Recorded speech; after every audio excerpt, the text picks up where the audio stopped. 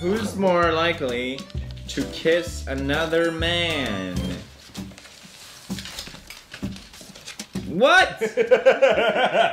what are you trying to tell Even me? your own family thought you were gay for a while. Hey! Yeah. No. Yeah. Okay, fine, that's true, but whatever. Well, I mean, I've kissed a guy before. I have too, and it was horrible. That's why I will never do it again.